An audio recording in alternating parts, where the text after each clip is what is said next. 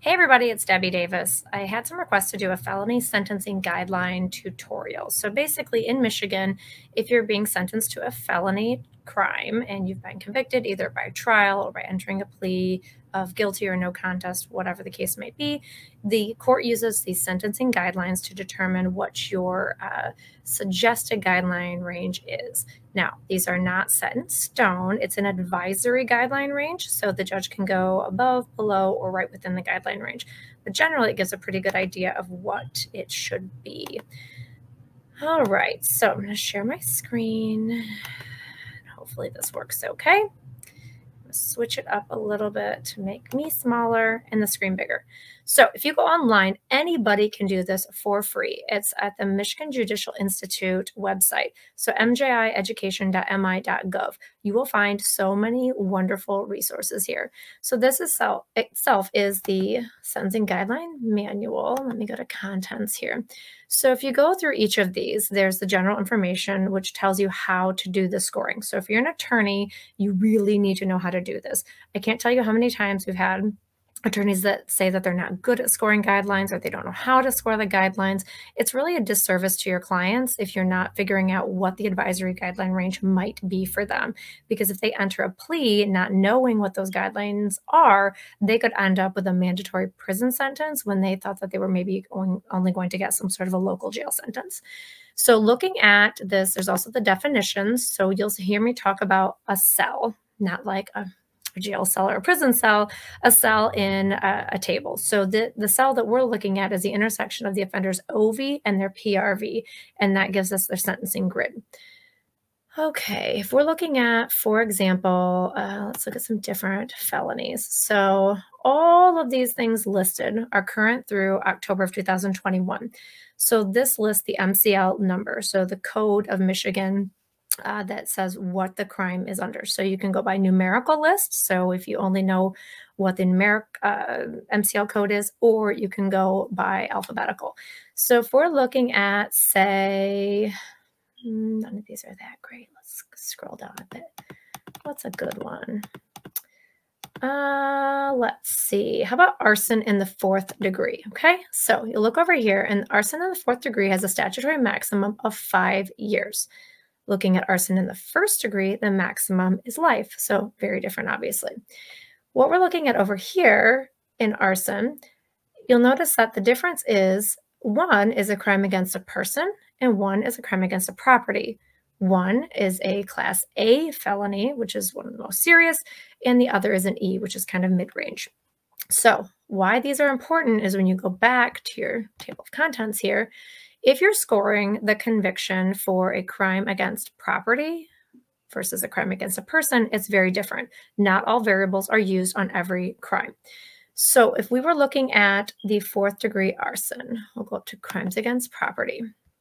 Your PRV means your prior record variable. So what we're looking at there is any prior convictions, not just a charge, not something you were found not guilty of, but an actual conviction. And it's broken down into high severity felonies, low severity felonies, um, juvenile felonies, that sort of thing. So as we scroll down, if you look at an offender who has three prior high severity felonies, they're going to be at 75 points and it lists what those high severity felonies are. Anything that is M2, which is murder, or a class A, B, C, or D felony. All right, and then if we go down, you would score each of these PRVs. So there's PRV 1, 2, 3, 4, 5, 6, and 7. What I usually do is just get a piece of notebook paper, honestly, and write down each PRV. And you go through the criminal history, assuming that you know their criminal history, uh, is best that they tell you. But uh, when you go through the criminal history, you're going to assess points for how many low severity and high severity felonies they have as adults. Then you're going to look at their prior record as juveniles, which is important. People kind of have this misconception that um, when you become an adult, your juvenile record is just wiped away. That's not always the case. If you get in trouble as an adult and you have a juvenile record, those are going to come back to haunt you. So if you have high severity juvenile crimes, um, again, A, B, C, D, murder, you'd probably be looking at this if you are in a juvenile murder murder conviction, but Anyway, whatever those might be. And sometimes it's a zero. So if people didn't get in trouble at all as a juvenile, they would have a zero points in PRV3. If we go down, PRV 4, these are the low severity felony crimes as a juvenile. Again, scoring them depending on how many you have. Next is PRV 5. This is misdemeanor convictions, and that's either a misdemeanor conviction as an adult or a prior misdemeanor adjudication as a juvenile. So, again, we use the term adjudication as a juvenile because you don't get convicted necessarily. In Michigan, it used to be that once you turned 17, you were considered an adult for criminal purposes. Interesting because for contract purposes, like signing um, to, to rent your own place, you were not an adult until you were 18. That changed as of, I believe, October 1st, 2021. It switched to be now 18 and under, you are considered juvenile. So you would go through the juvenile court system for any crimes unless you're waived to the adult court uh, by the prosecutor. So you'll again get points for any misdemeanors that you have. It maxes out at seven misdemeanors. So a lot of our people that come through, unfortunately, have way more than seven misdemeanors on their record during their lifetime. So those all count. Uh, something unique, though, is you don't count any crimes, convictions, adjudications, whatever it might be, that have a 10 year break between the very last thing that happened in that case.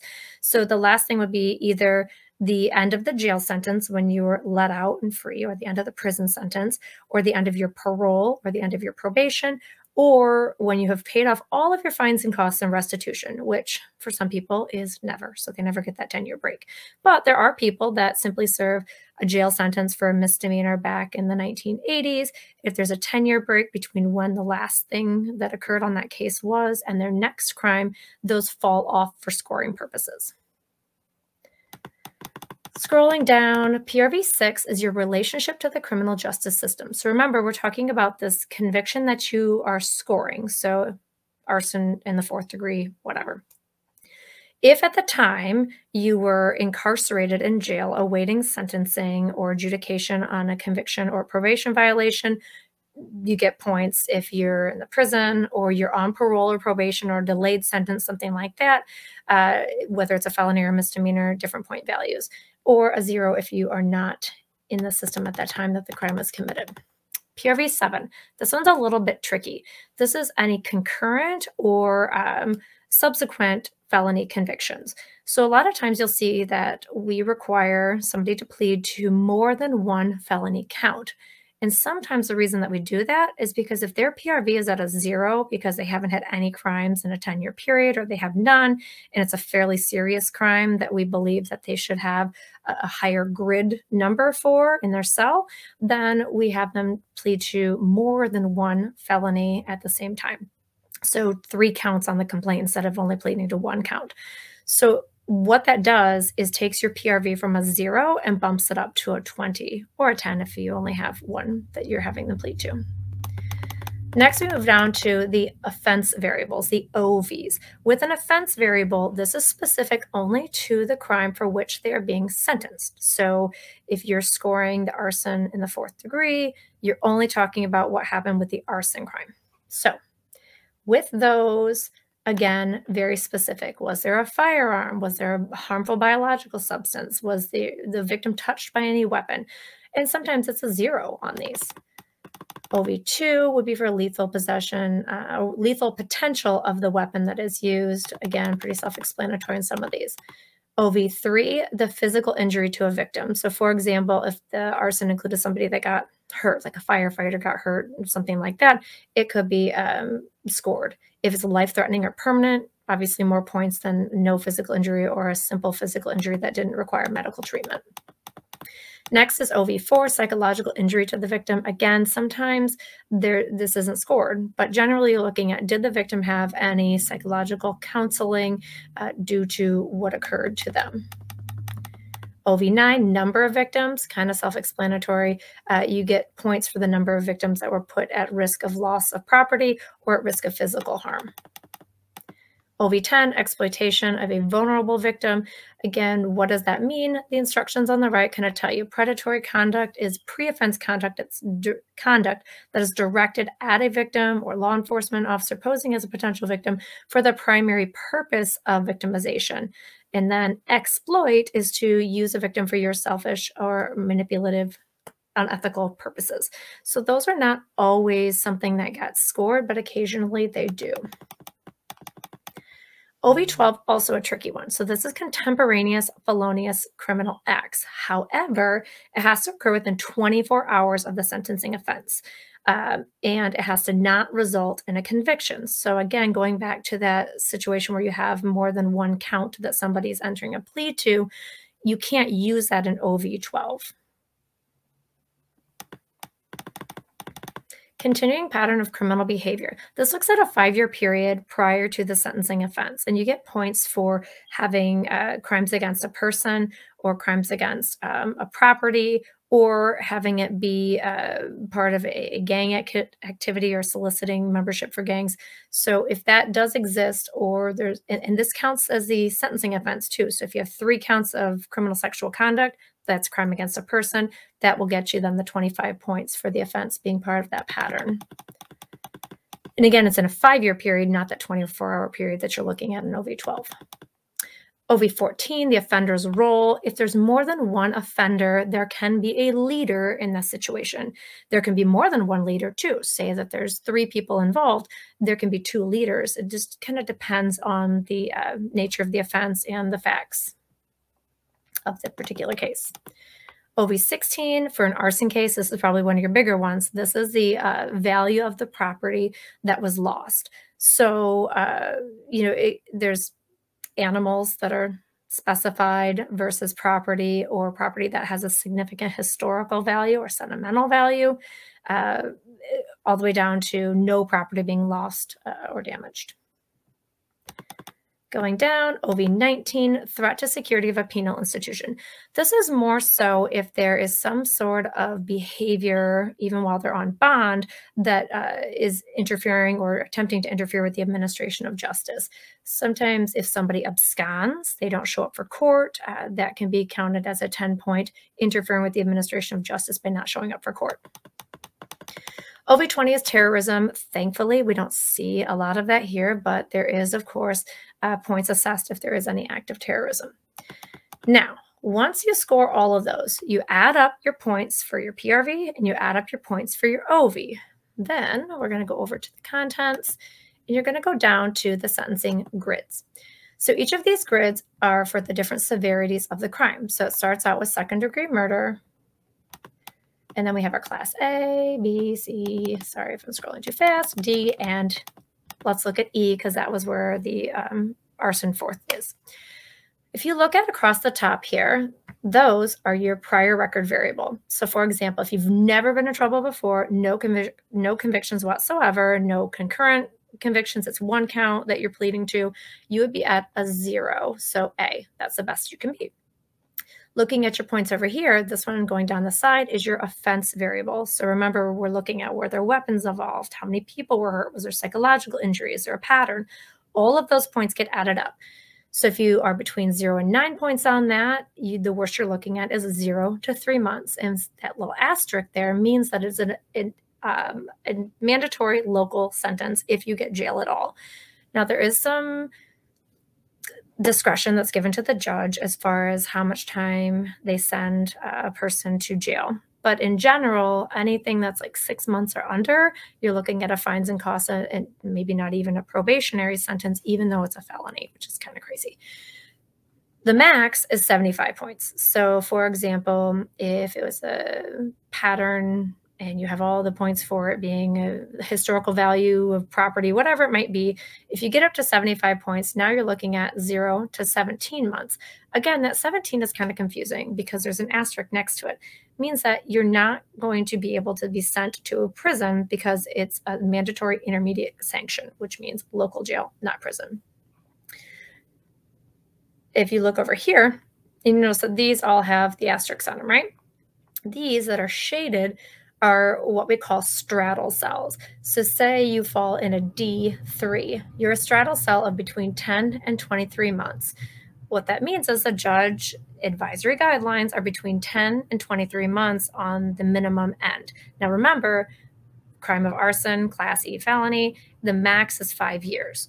So that's for a first offense if you don't have any prior felonies. So if you fall in that 10 to 23 months, if you're 12 months or below, you're in local jail. If it's over 12 months, then you have to go to the Michigan Department of Corrections or prison.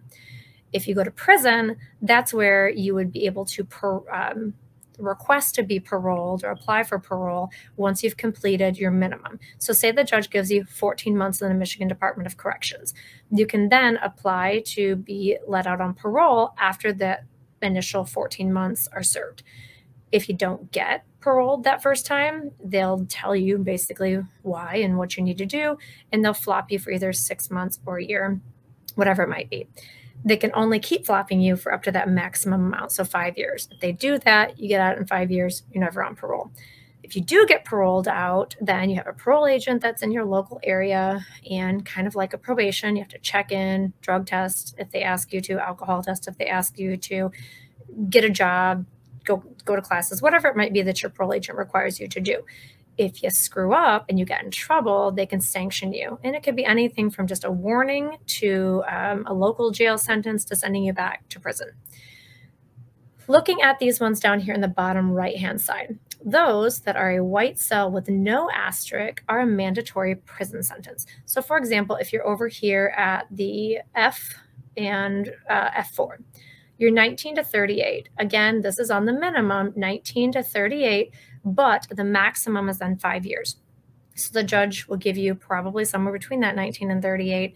Uh, anything below 36 months and a couple other factors that and depending on the crime, you can ask for a special alternative incarceration, which used to be called boot camp.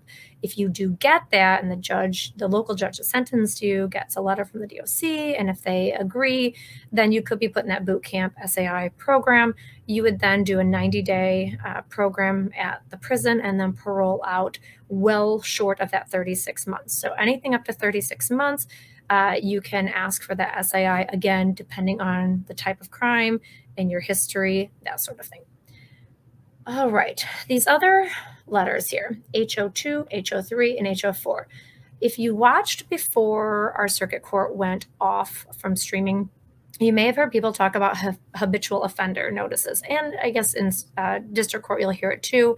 Uh, sometimes it's what the, the offender is charged with. A habitual offender second means that they've been charged or they've been convicted of one prior felony and it doesn't have to be any particular felony, and it can be in any state. So in Michigan, obviously, we have all of our felonies listed, but if there's something in another state that is considered a felony in that state, uh, you can use that as a habitual offender notice. First habitual offender notice, you get one and a half times the uh, the original sentence. So, like for the arson, uh, it would be like seven and a half years math in my head too good, sorry. But um, then habitual offender third offense notice means that you've had two priors. And then, of course, a fourth means that you've had three priors. Depending on the severity of your habitual offender notice, if the crime for which uh, you are being charged is an over a 15 year, I say 15 year, I should look at that, uh, it can be up to life in prison for a fourth habitual offender. Also, there are certain crimes that are special. And if you have uh, one of these special crimes in your past, say like a CSC first degree, and you get charged with another CSC, it can be a 25 year mandatory minimum if you have um, the fourth habitual with those special offenses on it. So, again, when I say 25 year mandatory minimum, it means that these grids don't matter anymore. It would be 25 years, no less, up to uh, whatever the maximum is. So with that, hopefully that gives you a little bit better of an idea of how sentencings are done in Michigan. Certainly there's a lot to it, but it's something that once you start doing it, it gets a lot easier.